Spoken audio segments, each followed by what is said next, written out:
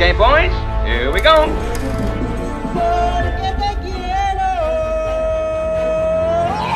Halo guys, kembali lagi bersama Mimin di Celengan Film. Apa kabar nih kalian? Semoga selalu dalam keadaan sehat dan bahagia ya. Oke, ada film yang menarik lagi nih buat kalian. Film ini berjudul Tua Tiu Tian. Daripada penasaran, yuk Markiton, mari kita menonton.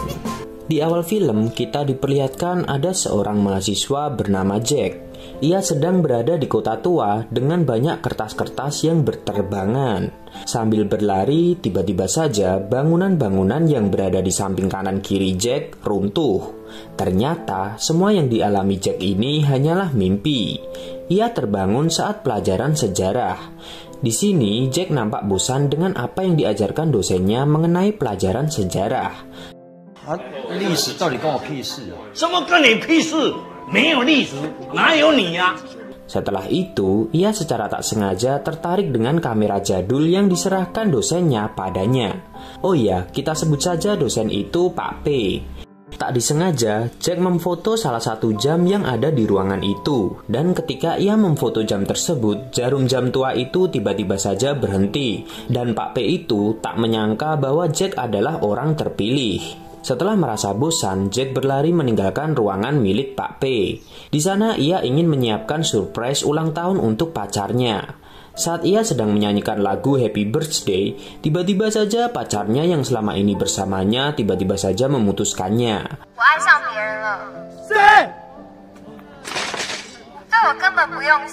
Pacar Jack ini ternyata sudah mempunyai pengganti Jack yang lebih ganteng darinya.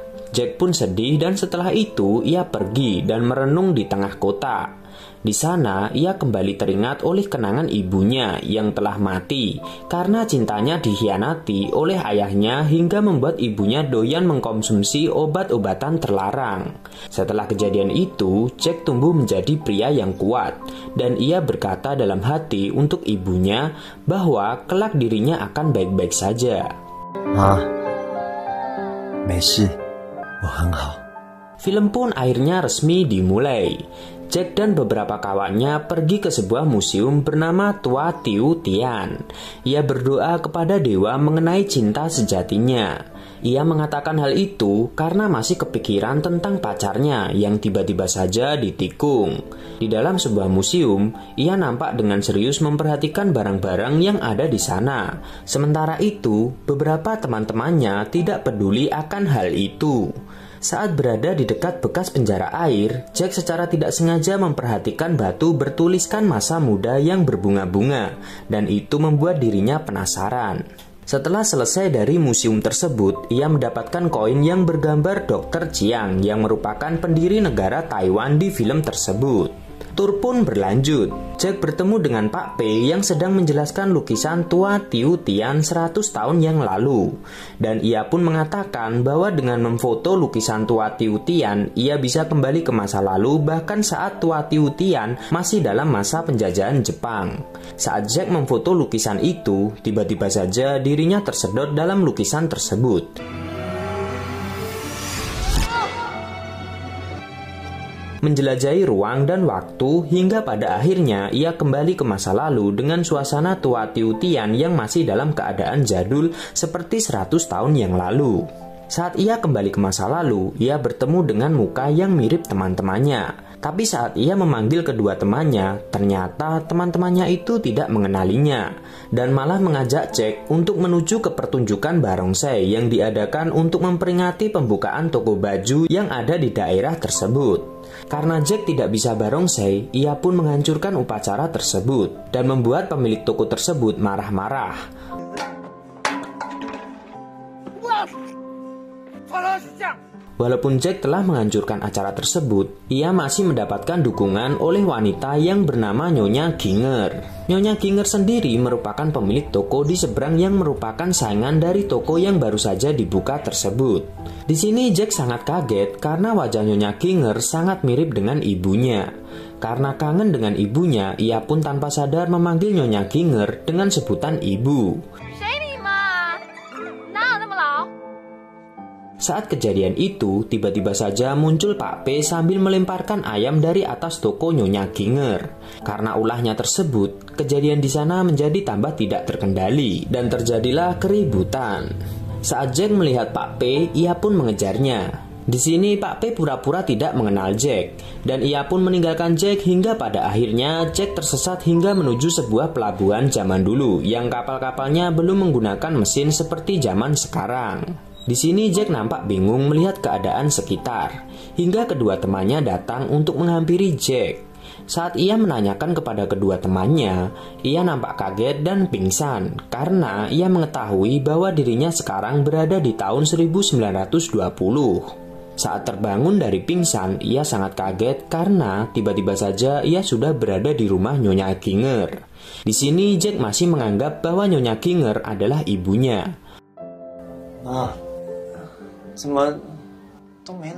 Walaupun Nyonya Ginger terlihat galak, ia sangat baik hati kepada Jack. Bahkan ia memperbolehkan Jack untuk tinggal di rumah miliknya asalkan Jack harus bekerja. Setelah kejadian itu, Jack pun kembali berkeliling kampung tersebut karena masih belum percaya dengan keadaan yang ia alami. Saat asik berjalan, ia bertemu dengan rekan-rekannya di masa ini dengan wajah yang mirip dengan teman masa kuliahnya. Di sini Jack bertemu dengan anak pemilik dari toko baju saingan Nyonya Ginger. Dan di situlah kita tahu bahwa pertarungan kedua toko pun dimulai. Jack tidak percaya bahwa toko Nyonya Ginger bakalan menang dengan saingannya sekarang karena toko saingannya menjual baju dengan kualitas terbaik di kampung tersebut. Tapi ternyata ia sangat kaget ketika teman-temannya memperkenalkan Pak P yang sekarang bekerja bersama Nyonya Ginger. Adegan pun berganti. Saat hendak ditemui oleh Jack, Pak P ini sedang berbuat mesum dengan memegangi dada wanita dengan modus mengukur baju yang nanti bakal ia buatkan untuk wanita tersebut. Iya, Yo, Dengan perasaan marah, Jack pun mencoba berbicara pada Pak P agar mengembalikannya ke zamannya. Karena perdebatan tersebut membuat pasukan Jepang yang saat itu menjajah Taiwan marah dan berusaha melerai mereka. Karena keributan tersebut, punggung Nyonya Ginger secara tidak sengaja terkena pukulan dari pasukan Jepang. Walaupun begitu, Nyonya Ginger mencoba menenangkan pasukan Jepang agar tidak mengganggu di wilayah tokonya. Suatu ketika setelah kejadian tersebut, Jack pun membantu Pak P untuk melakukan pentas drama romantik. Dan saat sedang berlatih, pandangan Jack tertuju pada gadis cantik yang merupakan seorang geisha. Jack pun jatuh cinta pada pandangan pertama. Drama pun dimulai. Jack bertugas sebagai pohon. Saat drama dimulai, tiba-tiba saja kertas dialog mereka ada yang hilang dan pertunjukan pun malah berganti menjadi pertunjukan komedi. Saat asik tertawa, tiba-tiba saja pasukan Jepang datang. Pasukan Jepang sendiri tidak suka dengan pertunjukan tersebut dan menyuruh mereka untuk pulang. Warga tua Tiutian pun tak senang dengan tentara Jepang yang arogan. Mereka pun bernyanyi bersama.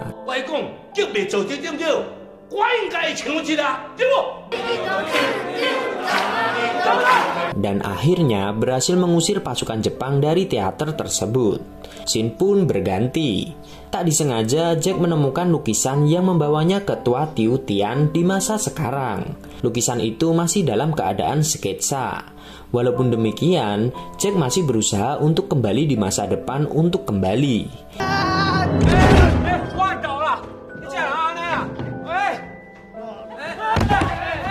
Setelah beberapa kali gagal, Pak P pun memberitahu Jack bagaimana caranya ia bisa kembali ke masa depan. Untuk kembali ke masa depan, Jack harus menemui tiga syarat khusus yaitu harus menggunakan kamera antik, lukisan tua tiutian, dan juga menyebutkan permintaannya dengan sangat tulus. Di sini Pak P pun menyebutkan tujuannya ke sini adalah untuk bertemu Nyonya Ginger dan ingin hidup kaya di masa sekarang. Jack pun akhirnya melihat sendiri perjuangan Pak P untuk mendapatkan hati Nyonya Ginger. Dan ia pun akhirnya juga mulai beradaptasi di masa saat ini. Dan mulai berpakaian layaknya orang-orang di masa lalu. Hari-hari pun berganti. Jack mengajari bernyanyi, merubah kembali penampilannya, dan akhirnya bertemu dengan Rose secara tidak sengaja. Untuk berkenalan dengan Rose, Jack pun menyanyikan lagu Happy Birthday dengan gitarnya dan memberikan Rose sekuntum bunga mawar. Ross pun akhirnya mau berkenalan dengan Jack. Di sini Ross meminta Jack untuk mengajarinya untuk memainkan gitar, sedangkan nantinya Ross akan mengajari Jack untuk berdansa. Scene pun berganti. Di luar toko tadi, Jack bertemu dengan seorang tokoh politik.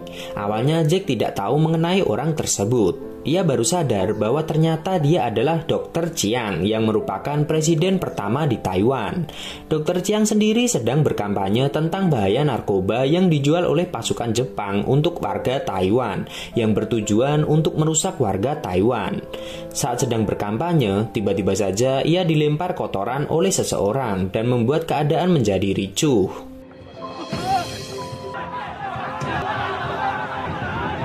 Setelah kericuan berlangsung, akhirnya Jack kembali bertemu dengan Ross.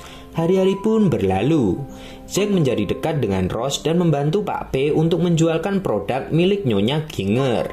Tak lupa karena sudah dekat dengan Ross, ia pun berfoto dengan gaya masa depan, yaitu lambang peace. Di zaman ini, simbol peace sendiri belum ditemukan. Jadi pada saat berfoto bersama orang-orang di sini, nampak kebingungan. Malam pun tiba. Jack mengajak Ross untuk berbicara di atas jembatan. Di sini, Jack menjelaskan bahwa dirinya datang dari masa depan yang pada saat itu Jepang sudah menyerah kepada Taiwan. Ross sendiri tidak percaya dengan perkataan Jack. Lama mengobrol, Jack mengajarkan lagu baru untuk Ross untuk dinyanyikan pada pesta gubernur yang akan dihadiri Ross. Sementara itu, di pesta gubernur, Dr. Chiang sedang berdiskusi dengan pasukan Jepang. Dr. Chiang sendiri memang orang yang suka berkata blak-blakan, apalagi ketika akan ada pangeran Jepang yang datang ke Tua Tiu Tian. Ia pun dengan lantang menolak perayaan yang menghamburkan banyak uang warga Taiwan. Tentu saja omongan Dr. Chiang membuat pihak Jepang marah. Saat hampir terjadi cekcok, Ross pun datang untuk melerai mereka berdua dan kemudian menyanyikan lagu yang telah Jack ajarkan padanya. Lagu yang diajarkan Jack sukses membuat suasana yang tadinya tegang akhirnya kembali normal. Setelah keadaan menjadi normal, Jack mengajak Ross keluar bangunan dan mereka berdua pun berdansa bersama hingga nyaris berciuman. Saat hampir berciuman, tiba-tiba saja pasukan Jepang datang dan membuat mereka berdua bersembunyi. Mereka berdua pun bersembunyi hingga masuk ke dalam penjara air. Di sini, Ross menanyakan tentang bagaimana masa depan tersebut. Jack menjelaskan panjang lebar dan tiba-tiba Ross menuliskan sesuatu di sebuah batu dan membuat Jack teringat akan tulisan tersebut. Tak disangka mereka berdua pun berciuman di tempat tersebut. Jack pun mengingat kejadian ketika ia diselingkuhi pacarnya dan ia pun akhirnya sedikit tersenyum bahagia karena telah dipertemukan oleh Ross. Saat hendak pulang, ia melihat Nyonya Ginger pergi menggunakan dokar untuk menuju ke sebuah tempat. Hingga pada akhirnya ia bertemu dengan Nyonya Ginger ke tempat penggunaan narkoba dan didampingi oleh Pak P. Jack pun marah dan membawa Nyonya Ginger pulang.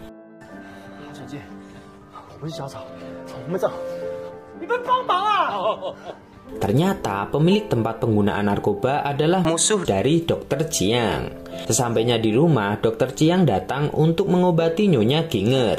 Ia pun marah dengan perbuatan Jepang yang membuat warganya mabuk meletre.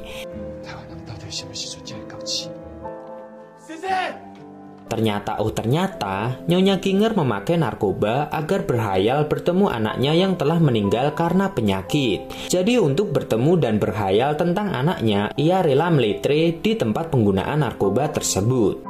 Ia berjanji untuk menyelamatkan Nyonya Ginger dari narkoboy. Tak disangka Nyonya Ginger melihat bayangan anaknya dalam tubuh Jack dan sepertinya ia bakal berhenti dari narkoba untuk selamanya.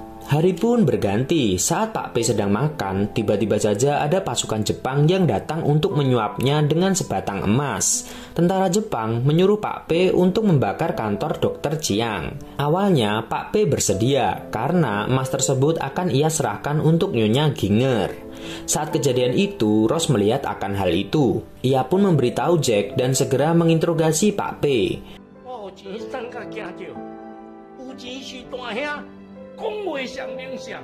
Bukannya membakar kantor dokter Chiang, Pak P bersama rombongan Jack malah membakar rumah untuk pemakaian narkoba. Saat membakar tempat tersebut, tak sengaja Jack menjatuhkan koin dengan gambar dokter Chiang sehingga para tentara Jepang beranggapan dokter Chiang akan menggulingkan kekuasaan Jepang dan mendeklarasikan kemerdekaan. Pasukan Jepang pun menyuruh pemilik tempat narkoba itu untuk menangkap dokter Chiang padahal ia sendiri adalah warga Taiwan. Adegan pun berganti ketika pasukan Jepang datang kepada Pak P karena ia tidak berhasil membakar kantor Dr. Chiang. Karena keributan tersebut, tanpa sengaja Nyonya Ginger tertembak oleh salah satu pasukan Jepang tepat di perutnya.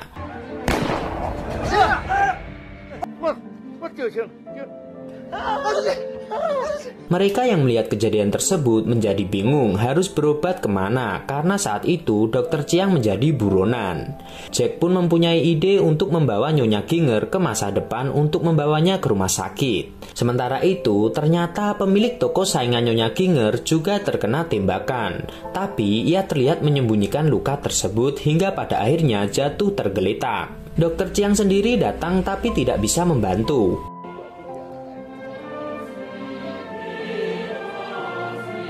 Setelah itu, Dr. Chiang sendiri tertangkap oleh pasukan Jepang, dan Jack dan gengnya pun bertemu anak saingan Nyonya Ginger.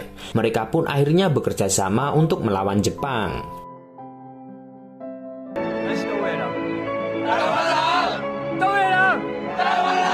Cerita di sini ada pangeran Jepang datang ke kota tua Tiutian. Setelah Dr. Chiang berhasil diselamatkan oleh pasukan Jack, pemilik tempat narkoboy membentuk pasukan dari orang-orang Korea untuk membunuh pangeran Jepang dan menyalahkan Dr. Chiang atas peristiwa tersebut. Jack beserta Dr. Chiang pun berkumpul untuk membentuk strategi untuk memerdekakan Taiwan. Ia pun mulai berpidato agar rakyat Taiwan bersatu.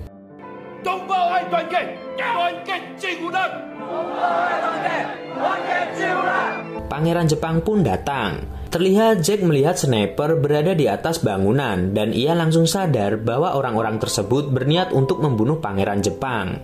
Ia pun segera pergi ke lantai dua dengan membawa nanas pemberian seseorang. Saat berada di lantai dua, ia pun melemparkan nanas tersebut hingga membuat penembak itu jatuh. Ketika sniper kedua berniat menembak pangeran Jepang, Pak P melempar lukisan tua Tiutian sedangkan Jack dan Rose berniat untuk menahan tembakan tersebut. Tak disangka mereka berdua kembali ke masa depan. Awalnya Jack terlihat kaget karena dia kembali ke masa depan. Di sana ia bertemu dengan Rose yang ikut terbawa ke masa depan. Saat di museum, ia melihat banyak sekali belangko Pak P dan takut telah merubah sejarah. Jack dan Rose berniat untuk segera bertemu Pak P. Saat perjalanan menuju tempat Pak P, Rose sendiri terlihat kagum dengan perbedaan tua tiutian di masa lalu dan di masa depan. Ternyata setelah bertemu Pak P, akhirnya Jack sadar ia tidak merubah sedikit pun sejarah yang ada. Tapi gaya pis yang ia perkenalkan ke warga tua tiutian di masa lalu ternyata masih digunakan setelah Taiwan memerdekakan memerdekakan diri oleh pasukan Jepang. Adegan sedih pun dimulai. Rose berniat kembali ke masa lalu sedangkan Jack mengurungkan niatnya untuk kembali ke masa lalu walaupun ia sangat mencintai Rose. Ia tidak mau kembali ke masa lalu karena di sana bukanlah tempatnya sekarang. Ia harus berada di masa sekarang untuk membuat takdirnya sendiri. Mereka pun akhirnya berpisah. Sebelum berpisah, Jack dan Rose berciuman, dan Jacklah yang mengirim Rose balik dengan cara memfoto Rose tepat di depan lukisan tua Tiu Tian. Tentu saja Jack sangat sedih karena ditinggal oleh Rose.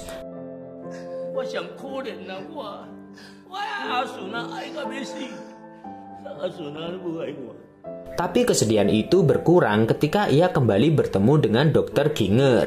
Untuk mengenang Rose, ia kembali ke penjara air dan melihat tulisan yang Rose buat telah terisi jawabannya. Jack pun menangis karena ingatan indahnya dengan Rose, tapi mau tidak mau Jack harus segera move on untuk memulai hidupnya yang baru.